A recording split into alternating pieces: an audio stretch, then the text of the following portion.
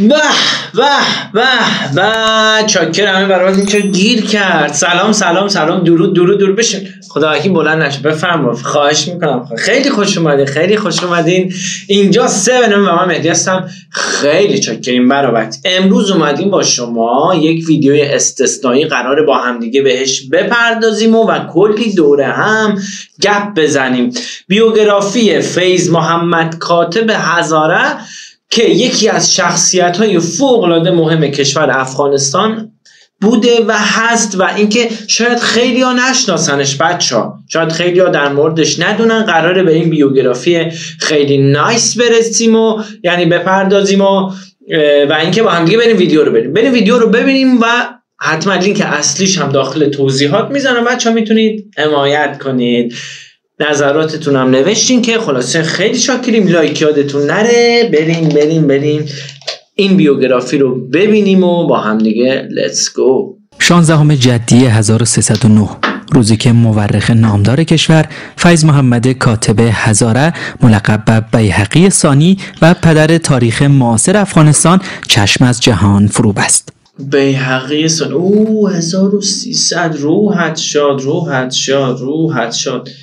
پدر تاریخ افغانستان. تاریخ معاصر افغانستان چشم از جهان فرو بست آها بخشی از داستان زندگی فیض محمد کاتب را از زبان محمد رضا کاتب یکی از نوادگان آن مرحوم میشنویم. خب. محمد رضا کاتب هستم یکی از نوادگان مرحوم ملا فیض محمد کاتب هزاره معرخ معاصر تاریخ افغانستان هستم در باشنده اصلی قریه گردن بخارای ولسوالی ناور می باشه منتها با اساس مشکلات ذات البینی که فی ما بین طایفه محمد خوجه و بنیادخان مالستانی بوده اینا و ولسوالی قرباغ در قریه زرسنگ پناه می‌برن بعد مولا فیض محمد هم در انمینج زمانی که بعد در تعلیمات ابتدایی خود را در مو قریه زرسنگ فرا می‌گیره و حدودا تا سن 18 سالگی را اینجا بوده بعد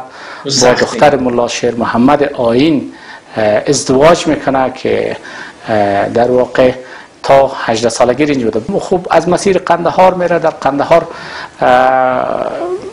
در میابه که علم صرف و نحو در قندهار خوب هست و بعد با میره پیش مولوی محمد مولوی محمد سرور ایساقزایی خب. در اونجا دقیقا یک مدت کوتاه رو باقی مانه بعد میره به طرف لاهور و بعد ما گفتم.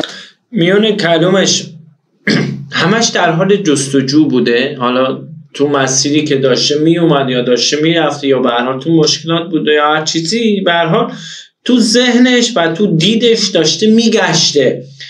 دنبال جاهایی که سوادشون زیاد ازشون یاد بگیره آدمهایی که خیلی معتبر هستن. حالا این رفته خنده ها تو مسیرش بود و, و داستان ازدواجش. می‌دونید هر کسی که می‌خواد پیشرفت کنه بره بالا جستجو می‌کنه. تو بدترین شرایط هم باشه فکره باید کار کنه و تحقیق کنه. نذاشته زمانش علکی هدر بره. مولوی محمد سرور ایساقزایی در اونجا دقیقا یک مدت کوتاه باقی مانه بعد میره به طرف لاهور و بعد ما گفته میشه که میرن به طرف نجف هم. اما ما خودم شخصا متعقل نیستم در این زمینه اسناد دقیق وجود نداره.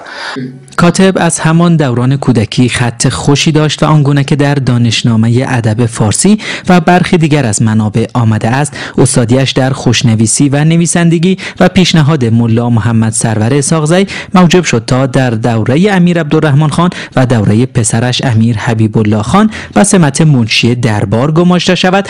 درود بر تو. خوشنویسی فوق العاده سخته بچه من تو دوران دبستان بود قلم و چیز می آوردن جوهر بکشید و فلان. یه ذره استعداد داشتم. خب ولی علاقه بهش نداشتم. می‌تونستم خوب بنویسم و بعد دیگه کثیف کاری داشت و معلم انقدر اذیت می‌کرد اصلا دیگه دورورش نرفتیم. ولی الان باز ختم خوبه. و کار نوشتن نامه ها و فرمان های دولتی را به او بسپارند. همین خط خوش او بود که لقب کاتب را به او دادند. با توجه به شناختی که امیر عبدالرحمن خان از علم و دانش کاتب به ویژه در زمینه تاریخ نگاری پیدا کرده بود به او اجازه داد که کتابی در تاریخ افغانستان از روزگار به قدرت رسیدن احمد شاه درانی تا زمان خود امیر حبیب الله بنگارد و برای این کار همه آرشیف های دولتی، اسناد و مدارک دست اول، نامه ها و فرمان های گزارش روزانه و سایر نوشته های موجود را در اختیار کاتب گذاشت. بعد از کسی که اطلاعات قرار میده دستی یک نفر که براش بنویسه صد درصد اعتماد بهش داره. نه مثل الان کشور ما که اومدن تموم. خدای توبه خدای توبه. خود قرآن هم دستکاری کردن به دروغ برای خودشون نوشتن. مثلا یارو اومده بود نوشته بود امام باقر در مورد فضای مجازی فلان گفت. آخه اون موقع اصلا فضای مجازی کجا بود؟ چرا انقدر کم عقلی هیچی خلاصه رو به اون بر نریم و به اینجا رسیدیم که اعتماد داشته که تموم اطلاعات رو گذاشته و دارش روزانه و سایر نوشته های موجود را در اختیار کاتب گذاشت. بعد از مرگ امیر حبیب الله پسرش امان الله خان به قدرت رسید. کاتب چشمدیدهایش از این دوره را نیز در آثارش ثبت کرد. نمی ملا فیض محمد کاتب آثار پرشماری نوشته است که برخی منتشر و برخی تا کنون توفیق چاپ نیافته است. کاتب را می‌توان یکی از پرکارترین و دقیق ترین تاریخ نویسان افغانستان دانست که تا کنون نیز کسی به پای او نرسیده است. حجم تعلیفات کاتب به بیش از 6000 صفحه و آثار کتابت شده او به بیش از ده هزار صفحه بالغ میگردد. علامه فیض محمد کاتب یکی از بزرگترین افتخارات اواخر قرن 19 و اوایل قرن 20 افغانستان است. و یکی از بزرگترین کارهایش نوشتن تاریخ افغانستان بود. به نام سراج التواریخ که به امر پاچای وقت امیر عبدالرحمن خان شروع شده بود. کاتب به آثار تاریخی بسیار گرانبها و منحصر به فردی در تاریخ افغانستان از خود به جا گذاشته است. که در فهم رویدادهای افغانستان جدید افغانستان قرن بیست. هیچ مورخ محقق معتبری از مراجعه به آثار کاتب بینیاز نیست. در میان آثار او می‌توان به این موارد اشاره کرد. سراج و تواریخ مهمترین اثر تلیفی فیض محمد کاتب می باشد که طبق نوشته اکثر صاحب نظران مستندترین کتاب تاریخی افغانستان است که تا کنون منتشر شده است. ایول این قشنگه. این خوبه که همون چیز که هست ارائه بدن به مردم. حالا چه توش بعد چه توش خوبه. تاریخ یک کشوره. باید منی که داخل یک کشور هستم راستین تاریخ کشورم رو بدونم. مثل ایران نه. ایران الان تو تموم تاریخش بری فقط دروغ چاپ شده. یعنی اصلا یه نکته راست داخل کتاب های درسی تاریخ ایران اصلا وجود نداره. چرا چون این مله ها اومدن همه رو به هم ریختن؟ خدا نکنه خدا نکنه اینطوری دست کنن تو تاریخت و تو رو از بچگی با دروغ بار بیارن که ما اینجوری شدیم. الان از سردرگم نمی‌فهمیم چی درسته چی غلطه به کجا مراجعه کنیم به کجا مراجعه نکنیم. می‌دونی انقدر دروغ دروغ دروغ دروغ اضافه کردن. تو همه چی دستکاری شده. سراج تواریخ در چهار جلد نوشته شده است. جلد اول وقایع سالهای حاکمیت خاندان محمد زایی جلد دوم تاریخ حاکمیت دوست محمد خان تا سقوط محمد یعقوب خان. جلد سوم مربوط و وقایع زمان تسلط عبدالرحمن خان است که مهمترین و بزرگترین بخش این کتاب است. ولی حبیب الله خان حکم به توقیف آن داد و فقط چند نسخه از آن در اختیار دیگران قرار گرفت. و جلد چهارم سراج و تواریخ که مربوط به وقایع حکم روایی امیر حبیب الله خان می شود هرگز توفیق چاپ پیدا نکرد. تحفت الحبیب نام یکی دیگر از آثار کاتب است که در سه جلد نوشته شده و به حوادث تاریخی مربوط به شاهان قبل از حبیب الله خان پرداخته و تا کنون نیز چاپ نشده است. تاریخ حکمای متقدمین. این کتاب را کاتب هنگامی نوشت که از امر تاریخ نگاری به صورت رسمی فراغت داشته و چنانچه از نام کتاب پیداست به حیات حکمای قدیم می‌پردازد. اما آنچه که آثار کاتب را نسبت به دیگر منابع ممتاز می کند چیست؟ بنابراین در یک جمله می توان کاتب را خلاصه کرد به مردی که در هنر نظر نویسی در زبان پارسی در اوج استاده است. دو در تاریخ نویسی دقت کنید بچه از چه کلمه استفاده می‌کنه؟ پارسی. نکته داره. سی در اوج استاده است. دو در تاریخ نویسی یگانه و شاید منحصر به فردترین چهره باشد که توجه بسیار ویژه به جزئیات و امر جزئی از خود نشان داده است. و سه اینکه کاتب در تبیین پدیده های تاریخی به جای رجوع به بخت و طالع و اتفاق و خوششانسی و بدشانسی کوشش کرده است که حوادث تاریخی را در یک چارچوب علی و معلولی و برای یک مبنای اقلانی توجیه و تفسیر بکنه.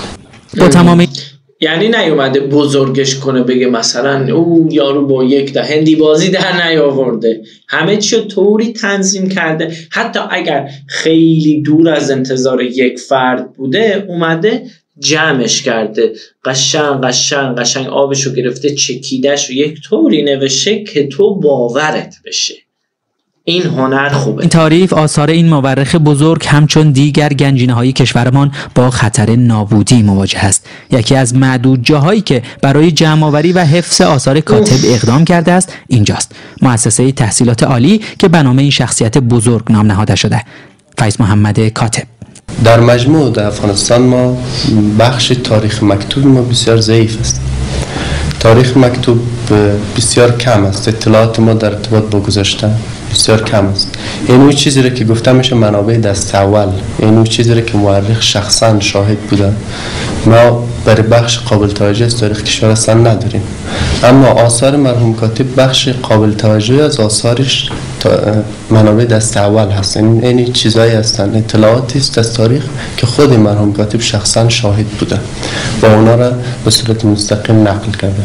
دانشگاه کاتب از تقریبا از اوایل تاسیسی دانشگاه تصمیم گرفته بودن که در ارتباط با نسخه های خطی کار کنند. برای شروع کار با توجه به که نام دانشگاه به نام مرحوم کاتب بوده. تصمیم گرفتیم در قدم اول در ارتباط با آثاری که از مرحوم کاتب به جامانده کار کنیم بنابراین این کار در چند فاز انجام شده که فاز اولش جمعوری آثار مرحوم کاتب بوده. که این جمعوری ما تانستیم حدودی 5000 همونطور که اشاره کردم 5500 صفحه دستخط مرحوم کاتب به دست بیاریم. که در حال حاضر تقریبا سراج هر چهار جلدش این مراحل را که خدمت شما عرض کردیم تایپ نمونه خانی تصحیح و نهایی سازیش تقریبا تمام شده و انشالله به زودی در دسترس عموم مردم قرار خواهد گرفت. از آقای مدقق پرسیدم حفظ این آثار تاریخی چه اهمیتی دارد؟ ببینید بحث احیای هویت احیای خودباوری یکی از بحث های بسیار اساسی است. در بسیار از کشورها وقتی که ما چطوری می‌تونیم خود باوری را در بین اعضای جامعه خود در بین اعضای ملت افراد ملت ترویج کنیم؟ یعنی آدما احساس کنن که ما هم کس هستیم. بسیار از کشورها برای خودشان تاریخ می‌سازن. آره. یعنی برای خودشان یک گذشته ای را می‌سازن. اینو قبول دارم اینو قبول. چون خیلی از کشورها هستن خب سواد نداشتن نگاه به کشورهای خودمون نکنید که یک نفر پیدا میشه با سواد میره تحقیق می‌کنه میاد نویسنده میشه میاد ابو علی سینا میشه میاد محمد کاتب میشه و این بحثا. اینا یک جماعتی بودن خیلی بی سواد. کشورهای غربی اینطوری نگاه نکنید که الان یک دنیا اصلا دنیا دستشونه. دیدی چی گفت؟ گفت اینا میان برای خودشون تاریخ می نویسن برای چی که آدم های غربی انسان های غربی عاشق تاریخ طرف ما پارسی زبون ها هستن چرا؟ ببین خیلی قشنگ اشاره کرد. بنابراین خیلی لازم است که ما نگاهی به گذشته داشته باشیم. البته نگاهی به گذشته دلایل مختلف می‌تونه داشته باشیم. یک از کارکردهاش ای است. بازخانی گذشته می‌تونه به احیای هویت و احیای خودباوری افراد جامعه کمک کنه. بنابراین احیای آثار کاتب از این جهت بسیار می‌تونه ارزشمند باشه. فیض محمد کاتب در 16 جدی سال 1309 هجری خورشیدی در شهر کابل چشم از دنیا فرو بست و در بالاکوی چینداول در نزدیکی سردابه میرزا شیرگلخان در نزدیکی زیارت قرآن به خاک سپرده شد. روح شاد و یادش گرامی باد. روح شاد و یادش گرامی. خب ببینید خیلی الان از مردم هستن نمی‌شناسن. به هر حال باید اطلاع رسانی بشه. ماها باید از فرهنگ تاریخ قدمت اصالت خودمون حتما خبر داشته باشیم. افراد مهم تاریخ قبلمونم بشناسیم و فردا پس فردا جای حرف برا گفتن داشته باشیم و به خود باوری. برسیم. بسیار ویدیو مفیدی بود و امیدوارم دوست داشته بوده باشین. مرسی که تا اینجا بودیم فدای همه. تا ویدیو بعد.